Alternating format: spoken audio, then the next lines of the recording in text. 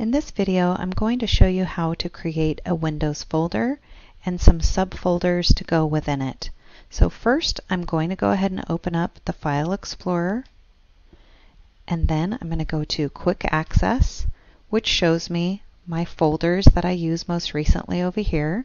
I'm going to go into the Documents folder, and inside of this folder, I'm going to look up here for the New Folder button, it will create a new folder for me and I'm going to go ahead and type in computer literacy.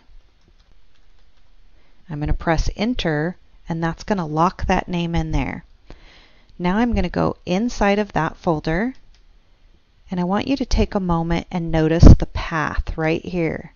This is showing me exactly where I am.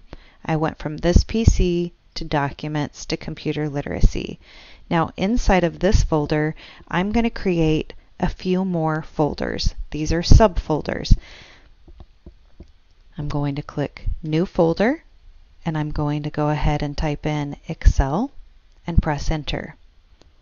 Now, you understand that you can create a new folder by going to your Home ribbon and clicking New Folder. I've demonstrated that technique twice. Now I'm going to tell you another technique.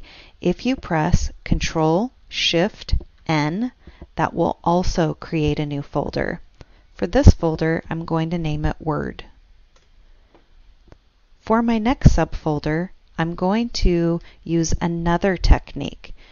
This technique is the right click feature. So I'm going to right click and I'm going to choose New and I'm going to choose Folder and I'm going to type PowerPoint and press Enter.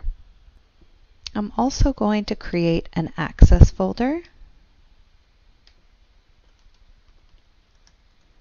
And I'm going to create a Windows folder.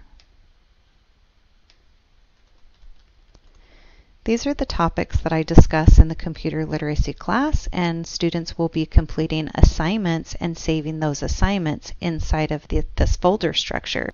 In a future lesson, I will demonstrate how to save files into a folder.